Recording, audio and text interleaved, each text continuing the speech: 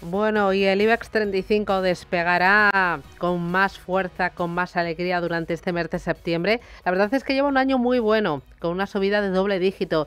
Pero, eh, ¿qué esperas? ¿Cómo lo ves? ¿Cuál sería la próxima resistencia, Lerma?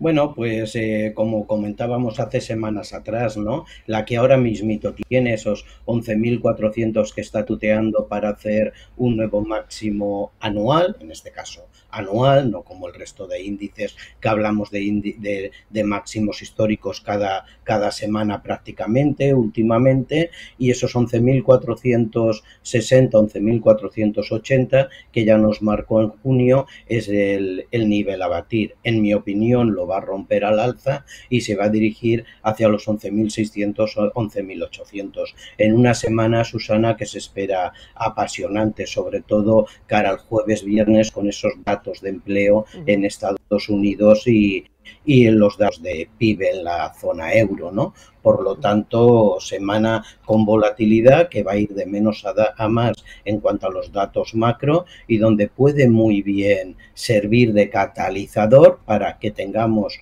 un corte y una bajada dependiendo de los datos a niveles de 11.000, 11.100 o que realmente rompamos esa resistencia y nos dirijamos hacia esos 11.600. Bueno, 11.600, 11.800 puntos, próxima resistencia para el IBEX 35. A ver si los oyentes, Rubén, se animan y, empiezan a preguntarnos por los valores que pueden llevar al IBEX a las alturas. Recuerdan los teléfonos. 91 533 1851. 91 533 1851. Número de WhatsApp, mensajes de texto de audio 609 224 716 609 224 716 o nuestro canal de YouTube Intereconomía Radio. Hay preguntas, Santiago, por dos valores. José María, Bankinter y Adidas. ¿Cómo los ves? Bueno, pues eh, Bankinter para mí es uno de los mejores bancos que está funcionando en España dentro de la banca mediana es que estaría dentro y me lo habéis oído por activo y por pasiva que en banca eh, aún hay que seguir estando. La ponderación hay que ir bajándola, eso sí, pero hay que seguir estando. Hoy nos sube un 0,27, está tuteando por esos, con esos niveles de los 8 euros y se nos dirige hacia esos 8,29, 8,30, que eran los máximos que nos dejaba en el mes de julio. Por lo tanto, si está dentro, yo permanecería dentro, las sesiones de máximos eh, crecientes y si no está dentro, pues con ese margen podría, podría significar una muy buena opción de entrada, teniendo en cuenta lo que siempre comentamos y la semana que tenemos. Adidas para mí de marca deportiva, sin duda alguna, una de las mejores que hay que estar.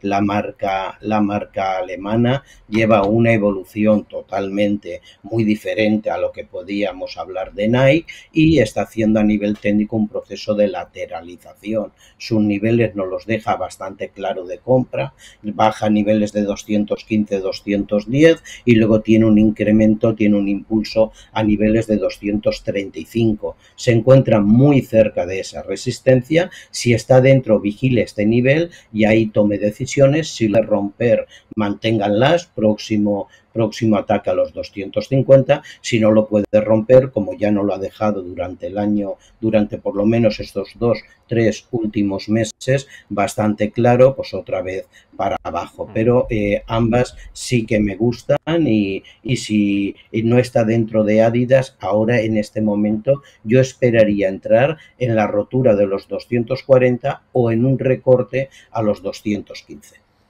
Otros dos valores en YouTube. Enseguida paso por WhatsApp, ¿eh? también hay oyentes escribiéndonos.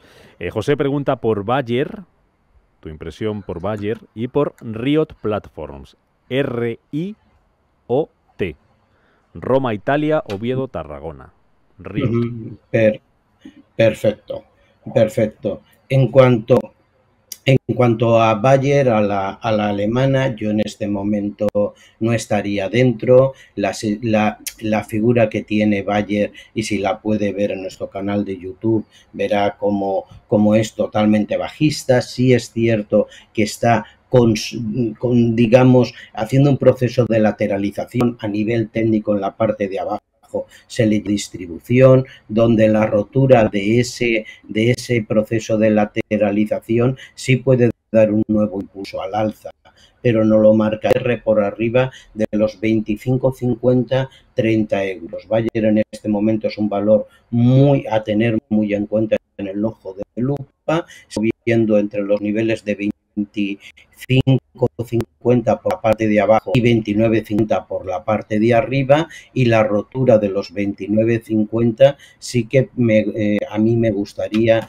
eh, y me daría una señal de entrar. Mientras tanto, proceso de lateralización en esos niveles y en cuanto a, a, la, a Riot, eh, supongo que, que, que, que Riot eh, la querrá, Río Platform la querrá en el Nasdaq, RI o T, y por lo tanto vemos como, como Riot, y en el gráfico lo van a poder ver ahora en un momentito, a ver, aquí lo tienen, está teniendo una evolución, bueno, pues en las últimas sesiones eh, bajista, donde yo desde luego, si estuviera dentro de ella, top de pérdidas los tendría que tener bastante, bastante claro. Nos deja mini máximos decrecientes, lleva cinco sesiones a la baja muy diferente a lo que está haciendo el Nasdaq y no es una acción en la que yo en este momento estaría dentro. No le debería de perder los mínimos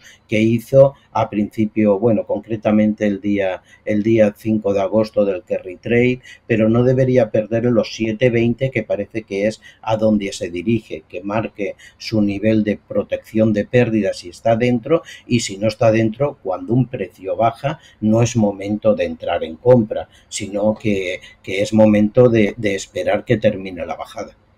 Vete mirando tres valores y solamente dime de cuál saldrías, ¿vale? Pregunta David. Vale. Por IAG, Meta e Inditex. IAG, Meta, Inditex. Dice, para generar algo de liquidez, ¿cuál retirar entre IAG, Meta e Inditex? Solamente dime uno de los Bueno, tres. pues- Cuando tengas el gráfico abierto, Vale, vamos escuchando un audio y te dejo mirando los gráficos. Venga. Buenos días. Mi pregunta para el señor Lerma es sobre Repsol.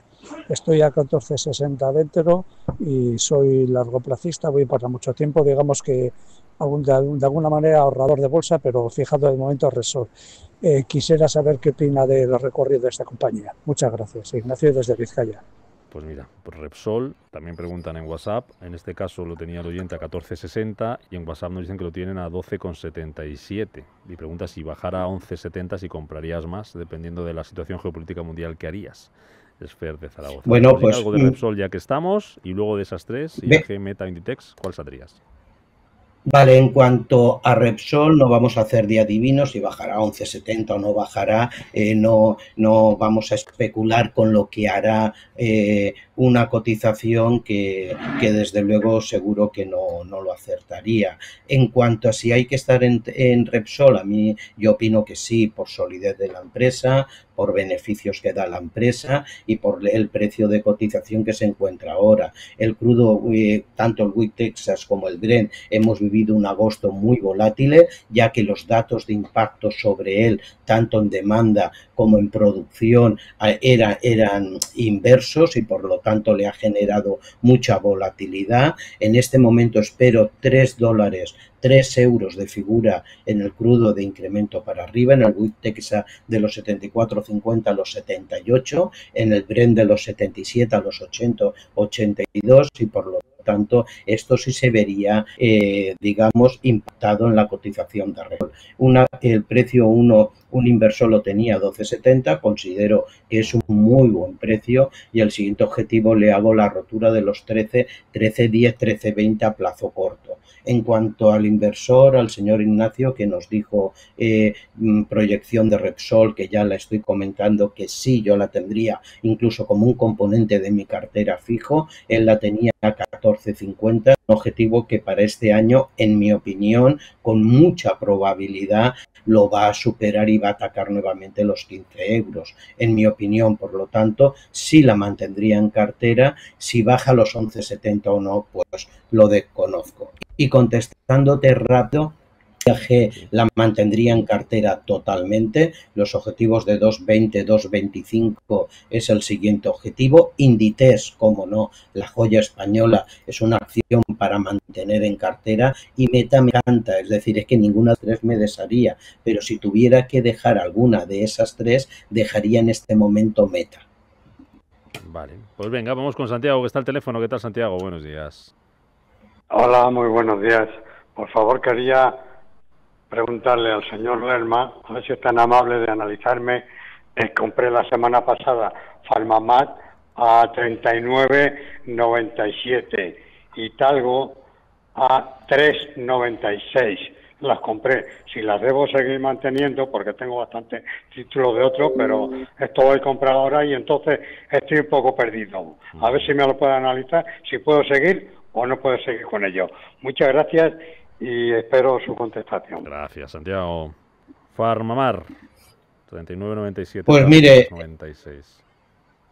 Mire, señor Santiago, eh, me parece que la compra que ha hecho de Farmamar es una muy buena compra. Lo que tiene que tener en cuenta es que está luchando con una resistencia que la que tenía en el mes de julio sí la ha roto, pero hay una resistencia muy fuerte en el mes de diciembre y enero, que está prácticamente muy cerca de sus niveles actuales, en los niveles de los 42, 43 euros. Por lo tanto, ese es donde en principio se nos dirige, los mínimos no son inferiores, los máximos son crecientes, el canal alcista que tiene desde el mes de mayo es impecable como subtendencia alcista y por lo tanto me parece que ha hecho muy buena compra. Vigile los niveles de 44, si puede con ellos pues tome decisiones si quiere dejarle correr los beneficios o no y si de con ellos pues ahí mismo ella ya le está diciendo cuál es el precio de venta. Me comenta Talgo, Talgo eh, en este momento no es el precio de los 3,96, que no se nos olvide esa OPA que tenía y que tiene de los 5 euros, ¿no? Sino es todo lo que le envuelve y toda la decisión gubernamental de, aceptar o no aceptar la OPA y hacia, hacia donde se nos dirija. Por lo tanto, este momento le una volatilidad. Le puede caer a 360 como subir a 420, 440. En este momento es una bomba de relojería, pero no por su propia evolución, sino porque todo lo que le engloba con respecto a, esa OPA en España. Por lo tanto, ahí sí que me limito yo porque le puede cambiar y le puede pasar de 360 a 420, pero en la misma sesión o de una sesión para otro. Subir un 3% un día o bajarle un 3% otro. Aquí marque su stop de beneficio y hasta que esto no se diluya todo, pues va a seguir con esa incertidumbre. Hmm. Dime qué te parecen estas dos compañías españolas para entrar. Técnicas reunidas, si es momento para entrar, pregunta Javier. Y otro oyente, ¿qué te parece Mafre también para entrar? Bueno, Mafre me parece una compañía buena, me parece una compañía eh, muy sana, muy segura. Eh, sin embargo, lo que sí que le va a hacer es aburrir en su cotización. Por lo tanto, no es una compañía que genera, digamos, como media un, un movimiento eh, espectacular, sino más bien es un movimiento aburrido. Y está subiendo un 0,50, está tuteando con los 2,30 y por lo tanto a mí me da mucho la solidez y pero ya digo eh, no es si es muy agresivo eh, quizá lo que le tenga en este momento es es que le aburra no pero como empresa me parece muy sólida en cuanto a técnicas reunidas, bueno, pues en este momento está haciendo el putba de la última consolidación, de la bajada en su tendencia que le llevó prácticamente en el mes de julio. Parece ser que es donde se quiere dirigir, a niveles de 12,70, 12,80, ha dejado mínimos muy claros, muy situados en torno a los 10, 10, 20, esos niveles como soporte no los debería de ver y el próximo ataque sí se puede dirigir es comentados entre los primeros 12,80 y segundo euros. Ese nivel que es el que está sirviendo resistencia práctica desde inicio de junio. Si está dentro, compruebe estos dos y un ataque a los 12,80, 13 euros, tome decisiones. Si no está dentro, bueno, pues eh, pienso que a lo mejor tiene otras opciones donde, donde le pueda dar eh, un, un, movimiento mucho mucho más, más fiable, ¿no? Pero en principio, si está dentro, ya aguantaría total. Vale, venga, mensaje de audio. Muy buenos días. Quería preguntarle al señor Lerma, este, ¿cómo ve Indra? Estoy dentro a 18 eh, y quería saber cómo, cómo la veía. Y Repsol, por favor. Muchas gracias, que tengan buen día. Como Repsol ya hemos hablado, te añado una más que nos pregunta María en YouTube, AENA. También dentro con ligero beneficio, ¿vale? AENA con ligero Muy bien, perfecto. que nos preguntaba este oyente, 18, ¿cómo las ves?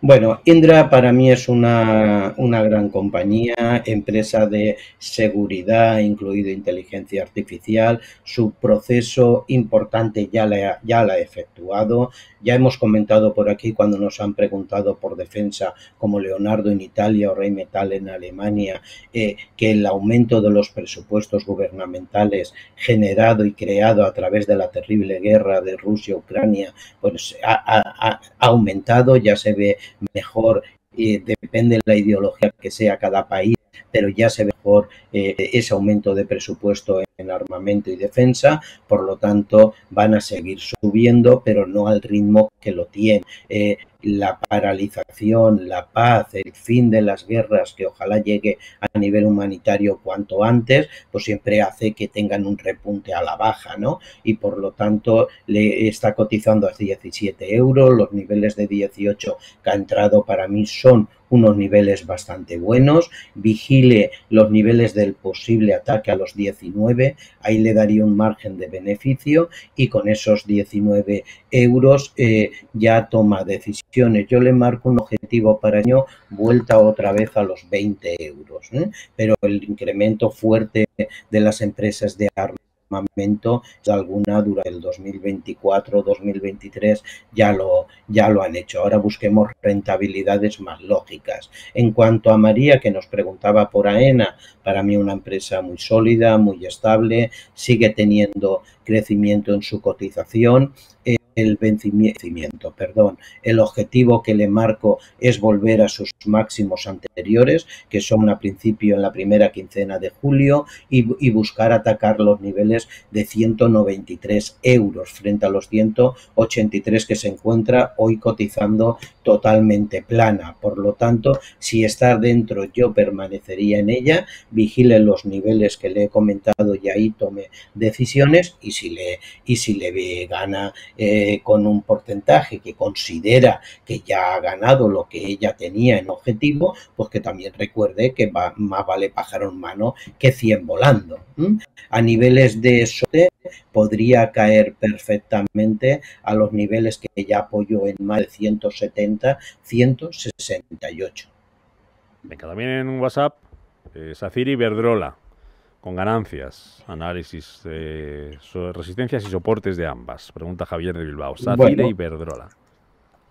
Bueno, pues vamos a, a, ellas. Iberdrola, una de las acciones a tener en cartera si queremos hacer una, una composición de una cartera de acciones para final de año. Nos metemos primero a analizar SACIR y en cuanto a SACIR, esta constructora, inmobiliaria, infraestructura, para mí una, una empresa a tener muy en cuenta en este momento. Eh, está tuteando con los niveles de 330, que ya sirvió de existencia que no pudo a inicio de año, que ha servido de soporte desde el mes de marzo hasta el nivel de agosto, que solo fue roto a principio de agosto, y por lo tanto lo está intentando si de cierre puede recuperar los 330 332, muy probablemente va a tener un impulso hacia los 344. Los que se trabajan a nivel, digamos, más, más agresivo, con un plazo temporal de 1, 2, 3, 4 días,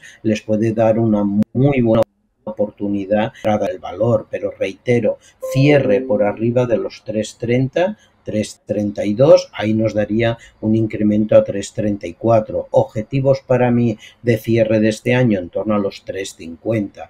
Por lo tanto, es un valor que sí que me gusta eh, que estar en cartera, pero con esos dos perfiles, ¿no? Y Verdrola Luini comentaba diciendo, impresionante la evolución de la empresa, beneficios fundamentales, dividendos, proyección del precio. Eh, para mí es una joya mantenerla en cartera. En este momento, a nivel de cotización, está tuteando con los 13 euros, que es en principio donde se dirige. Está cotizando hoy a 12,89, subiendo un 0,16%, y si el gráfico no lo permite, que parece cansadito, pues lo va a ver y lo va a visualizar ahora próximo, próximo, siempre que nos permita el gráfico que quiera, que quiera salir, mm. pero próximo, próximo objetivo de ella, los 13 euros, está en máximos y por lo tanto cuando una acción tiene crecimiento y su cotización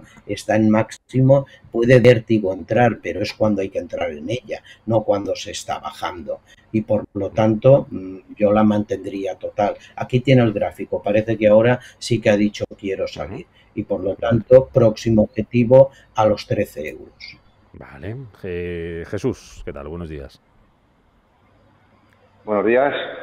Muchas gracias por llamarme. Mire, eh, estoy pensando en ponerme largo en el IBEX 35. ¿En qué niveles se pondría usted? ¿Qué le parece? O esperar una corrección y a dónde vería los soportes. Y luego, ¿qué le parece con respecto a trabajar con índices o a trabajar con acciones? ¿Qué le gusta a usted más? Esto yo trabajo con ETFs, a ver si me entiende sobre el IBEX 35. ¿Qué le parece a usted?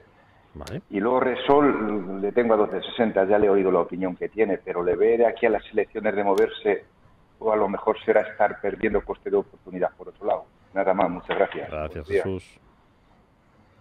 Pues mire, Jesús, en cuanto a Repsol, de aquí a las elecciones, hablamos evidentemente de las elecciones de Estados Unidos, creo que me está hablando, hablamos del 5 de noviembre y de aquí a allí lo que haga lo desconozco. Yo la tengo en cartera y le hago un objetivo por arriba de los 13.50, 13.80 de aquí a noviembre. Eh, el crudo sí lo hago situarse en esos momentos, el Brent por entre los 82 y 84, el WIT Texas entre los 78 y por lo tanto es el movimiento en principio que yo le espero y la cartera en una diversificación de cartera. En cuanto a lo que comentaba de suarme largo en el IBE, bueno, he creído oír que trabaja por ETFs. Si trabaja por ETFs va, va a seguir la evolución de lo que haga realmente el. Si trabajara, que también me lo ha contado por índices, sabe que cada punto en CFD es un euro y si trabaja en futuros, el mini son 5 euros y el grande son 10 euros y por lo tanto yo le hago un impulso ahora durante esta semana a los 11.460 que es para tutear con los máximos y según mi análisis y si los datos del viernes nos acompañan le hago un impulso a los 11.600 11.800 fíjese en los 11.600 ahí sería 200 puntos. A partir de ahí tenga en cuenta que los días pone un cronómetro dato del viernes para su entrada en el índice, pero además tiene en dos semanas publicación del BCE tipos de interés, publicación de la Fed, publicación de Reino Unido y mañana nos abrirá la sobremesa, publicación de Canadá que se espera en esa hoja de ruta que baje 0,25. Por lo tanto, yo esperaría la rotura de los 11.460 y ahí marcaría mi largo. Si no lo rompe, pues está luchando con la resistencia, un poquito de paciencia. Vale, leer más rápido dos valores te voy a poner sobre la mesa para que luego tú nos pongas eh, a su vez eh, alguno que esté bien para entrar. Dime algo muy rápido porque me quedan dos minutos. Ryanair, Netflix. O la que más te guste de las dos. Bueno, eh, Netflix, yo en este momento, Netflix, desde luego, para entrar en este momento no, no estaría dentro y, y, Ryanair no son ninguna de las dos las que, las que yo estaría dentro, con lo cual me pide rapidez, te lo digo, pienso que, que en este momento no son de, mi, de, mis, de mis favoritas. ¿eh? en este, en este momento. Eh, pienso que podemos, cara a lo que vamos de datos, encontrar otros, otros valores. Eh, si quiere entrar en Ryanair, yo esperaría. Yo, en este momento, para por rapidez, no, no, no son de mis favoritas ahora. Vale, pues dime alguna favorita, venga. Bueno, eh, hemos comentado muchas de ellas. Si quieren aerolíneas, yo me quedaría con, con IAG. Yo estaría pendiente de la banca eh, esta semana porque pienso que va a volver otra vez a atacar los máximos que tuvimos en, en julio y si quiere tecnología alguien en Estados, en Estados Unidos, eh, yo estaría muy pendiente con más agresividad y mayor riesgo de la evolución eh, de Tesla y estaría muy pendiente de Apple. Son dos que las tengo en, en el ojo de, de, lupa. En Alemania estaría muy pendiente de la evolución, si quieren un poquito también de tecnología, de Infineon y aquí en España muy atentos a la constructora ACS, a la banca y las otras es que las hemos comentado durante, durante la emisión.